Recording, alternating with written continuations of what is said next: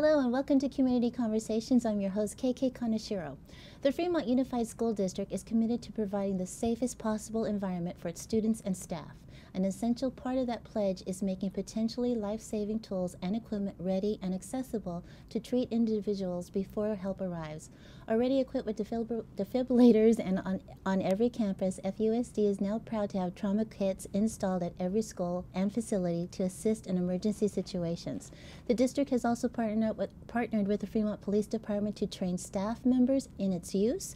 And here to tell us more is Fremont Police Officer Ryan LeBeau and Fremont Unified Services Coordinator Cheryl Knight. You have a long title. Thank you so much for bo- uh, both of you for being here. Thank you for But having us. tell us right now, how did this whole program start? Who thought of this? Why was it important to even bring it to life? Who You wants to to start? start? Okay, I'll start. Um, as an Air Force Reserve officer, we were trained in a program called Stop the Bleed.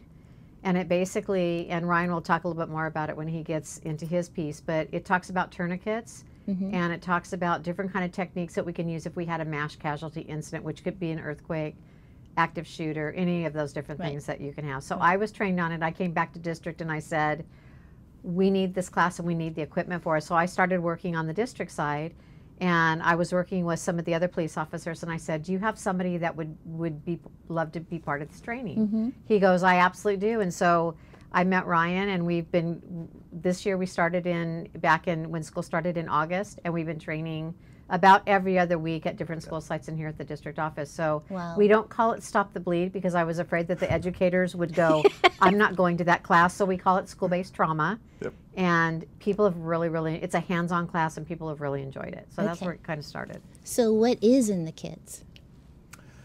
They contain some, some basic life-saving supplies that can be used, like Cheryl said, in, in a variety of situations. Obviously, the worst-case scenario, the active shooter or killer. In the kits, there's tourniquets, Okay. which can be used on the extremities to stop massive bleeding. There is some gauze that is impregnated with some clotting agent that helps speed up blood clotting Good, that can be good. used uh, to pack wounds. Mhm. Some pressure dressings. On top of that, there's also something called an occlusive dressing. It's to seal up wounds to the chest cavity, uh, penetrating trauma to the chest cavity that can cause uh, collapsed lungs and increased pressure in the chest cavity Right. that creates a, a pretty bad situation. On top of that, there's also some shears for cutting away clothing. Uh, a space blanket blanket's basically just aluminum foil uh, for keeping people warm and treating them for shock. Now, my first question hearing about this great program is was the fire department also included in this program or how does that work? Actually, the fire department wasn't included in this program, Okay. but I knew that my first go to was the police department because we have more of a, an opportunity to be, because of the school resource officers Right. that we have. And so I reached out to them and they had already been, Ryan had already been teaching a portion of this, this Okay. class. So that's Okay. why, and I got what I needed from the police department, so I didn't call any further. So that's kind of where, how we, But it does make sense. You have a lot of SROs all throughout our campuses, which is Absolutely. great. So, in this training, the SROs, teachers, principals, nursing staff are all in par- a part of this training? Is that how this works? It's a volunteer training at this point, and it's not a certification. It's just an awareness training, so it's a one time only. Okay. And so we have put we have all the schools received, and we have one of the kits here that has the the trauma kits in it that Ryan described. Um, we put it out there. We've given all the schools kits are all hung along with their AEDs, and we said, okay, so they don't don't do us any good just hanging there without any training. So Right. the schools are. We have a calendar that we started at the beginning of the year with classes already here at the district office and we've told schools if you want us to come out to your staff meetings if you want to pick a date that's not on our calendar we'd be glad to work it into our calendar and so the schools have been slowly getting on the, the training piece and and it's getting more the awareness is out there but the kits are all out there but if they don't know what to do with them Right. It's useless. right So, what about students who are interested in helping should an earthquake happen? Is that in the future that they can get involved with the training or? We've talked about that. Uh, there is the potential for that in the future. We run into to some obstacles with that, where obviously if they were under 18, we'd have to get parent Uh, approval yeah. to, to Yeah. teach these skills to them. And on top of that, there is some pretty rough subject matter that we have to address as part of the training. Okay. Yeah. Probably too little much for young ears. Well, so When you first brought this program on, did you pick certain campuses to have this first, or was it since the get go, all campuses get it? And then how was this uh, rolled out?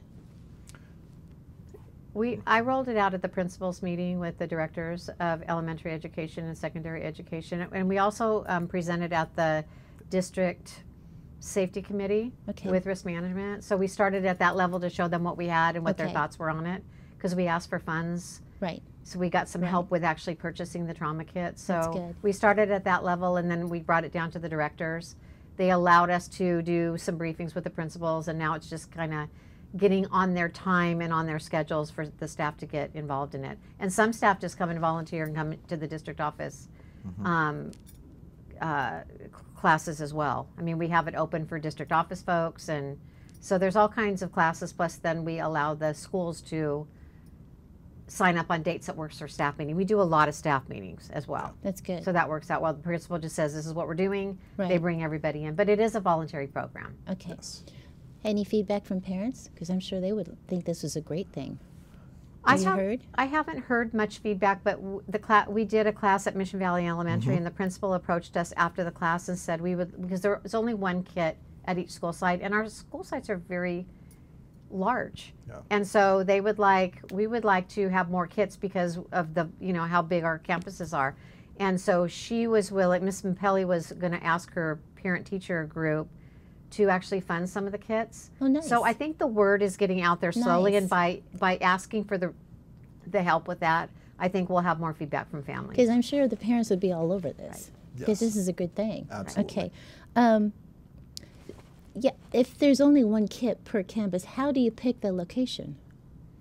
It's usually in a central area. We we keep it in a, a- an enclosed area just because we don't want anybody like after hours or whatever. right. But it's usually the offices. Okay. And at the high schools, of course, we're going to need to have more than one, but they're putting it in a central location, a staff room, the office, Okay. health room, that kind of thing where it's visible and Right. it can be seen. But it's hard when you have one. And in these kits, there's actually four individual trauma kits. Oh, it's a bag with that's got Grab and go. Right. So you can actually toss them out to other people and go, you go that way, I'll go this way. So there's actually four kits, but even on a high school campus, four is Nothing. is a minimum amount. Right. Especially when we had that earthquake. That's right. Yeah. Yeah. So, do you have other officers also involved, or is it just you that's going around with Cheryl training? I'm glad you asked. I do have other officers involved. What I've been doing is sending out messages throughout the department Okay. to all of our CPR and first aid instructors. We currently have an in-house uh, CPR Oh, and first aid program Okay. to certify our officers uh, on CPR, first aid, and AEDs, along with some basic trauma care. So what I've done for several classes is brought along officers who generally have prior experience as EMTs, paramedics, uh, combat lifesavers, where they're trained to a higher level than this, the average uh, military member. Um, and have them help with instruction. There's been a couple officers that have shown up for a good amount of classes, one of which was at EMT Nice. in Santa Clara County for several years. Nice, nice. Now, this is more than your basic first aid kit. Yes, I get that. But is there a method or a process of always keeping this kit up to date? You know, restocked, or is there an inventory? Okay, we've got to remember to refill it because we used it for this situation. You know, is there anything in process? We haven't gotten that far yet as yet, and we hope we never have to use them. Yes. Yeah. So they're not going to be like basic first aid kits where people go in and use them for band aids or whatever. Neosporin. So yeah, so it doesn't have any of that in there. So unless we have something big, they won't be opened. Okay. So they will be, and that's why we want to train everybody because we don't want people, you know, it's got the medical information on. it. We don't want people just going in and using it on a day-to-day basis because they think there's Tylenol in there. And once these are on the walls, they're not locked, are they? No. No. So, okay, that you don't have to worry about that in an emergency. Um, what are the key things students and families should know about dealing with an emergency while on campus? Is what's the process? Earthquake happens. Right. So, an earthquake is something where, just like in first aid and CPR training, you're taught the first thing and the most important thing is scene safety and surveying your scene, uh, ascertaining whether or not it's safe for you to go help someone or safe for you to be in the area you're currently in.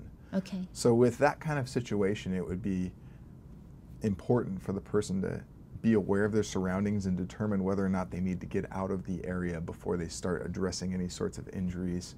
And in the event that there's a person that's unable to move, Right. how to get that person out of the area if they can safely do so. Yeah. Yeah. Um, Falling debris is hard. Absolutely. Okay. in, in the event of an active shooter, Mhm. that's a little bit different circumstance, and that's why a lot of the schools are, are taught the run, hide, fight program Mhm. that uh, many parents are aware of nowadays. But on top of that, I would advocate for, for parents to educate themselves on some basic trauma care because once you've run, hid, or fought and are no longer in direct uh, Danger. harm's way, Yeah. You need to know how to take care of injuries that Right. you or anyone else around you might have sustained. Yeah, that's amazing. Um, I know you guys are being super humble here. Um, you've done a lot of work, but I know you've also had some help, and we'd like to publicly thank them. Can you tell us how, who else was involved with getting this program up and off the ground? so okay, I'll, I'll briefly say it. Um, so my interaction really started with Sergeant Bocage. So that, wa- Mhm. that's Sergeant Matt Bocage. He works at the Fremont Police Department.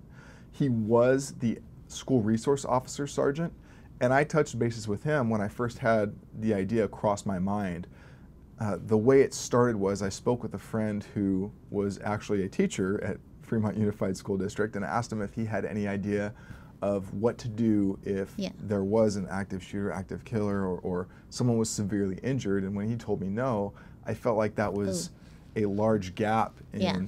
Yeah. Uh, the chain of survival for, for saving someone's life. So I put together a, a PowerPoint and some basic skills that I thought I could easily teach to school district personnel, faculties, teachers, potentially even students eventually. And I talked with Sergeant Bocage and said, hey, I'd really like to, to get this class going. Who can you put me in, in touch with? And that's when he put me in touch with Cheryl, which really got this uh, Uh, going. going. Yeah. I was working on it from my end, so I was kind of it, uh-huh. it actually it worked out perfectly Yes. in our timeline Yes. and you know, I work out of student support services and of course at the time Dr. Campbell was my boss and he was like, "Cheryl, you do whatever you need to do." We had fun we had half of the funds out of our department to pay for the you know, to purchase the kits and then I went to business office and I was working with Brian Wakefield.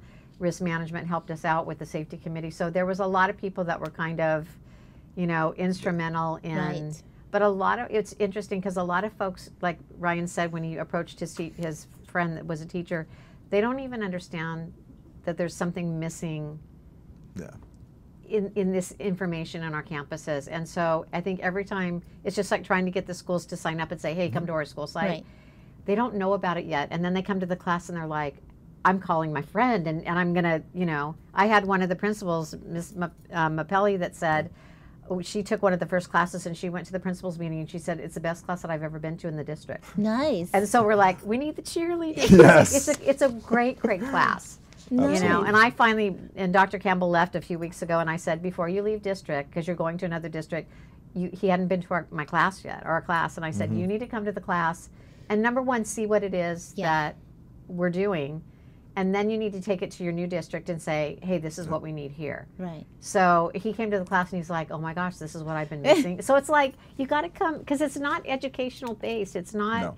So everybody kind of just shies. It's just one more thing that they have to Yeah. do. Yeah. And it's not just for school. It's it's if you stop and you're involved in a car wreck or you mm-hmm. see something. You're at the or, airport. You're right. anywhere. I mean, there's Absolutely. just so it's just a huge. And people are like, where can we buy these kits because they want them for their cars. Yeah. And and that kind of thing. So Wow. it's not just. That's a compliment. It's a yeah, absolutely. Wow. It's great. Good it's for you. it's just Look at you, Cheryl.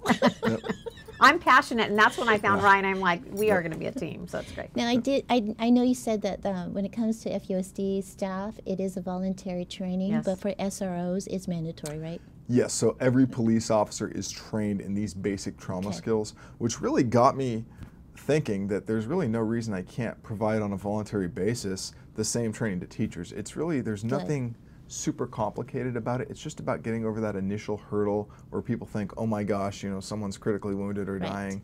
what can I really do to help them? And the answer is you can actually do a lot. Yeah, good. I just want So- to, any of our parents who are watching, they know the police officer knows if, Absolutely. yeah, so that's a good thing. Yes. Oh, I cannot commend you guys enough for this. This is a great program. Thank you, Thank so you. much. Just from on a citizens level, this is wonderful, and I hope you get more funding for more of these first aid kits, or I should say, trauma kits, and AEDs, because that's amazing too. Now, the training does cover the tra- uh, trauma kits and the AE- AEDs. I do not. I do not cover AEDs. Okay, so uh, is the in this training. AEDs a different training. They get that in CPR class. CPR classes. Okay. And so now that all the school sites have AEDs that we just Mm-hmm. finished placing at elementary within the last few months, the expectation is, and it's vol- that's voluntary again, except Okay. for administrators, Yeah. that our staff get trained um, to do CPR, and then that includes the AEDs. Okay. Well, I cannot thank you enough for being on the show. You guys were fabulous. I hope you come back. this has been wonderful. you for and having us. congratulations again. Thank you. From everyone here at Community Conversations, we appreciate you watching and we'll see you next time. Thank you.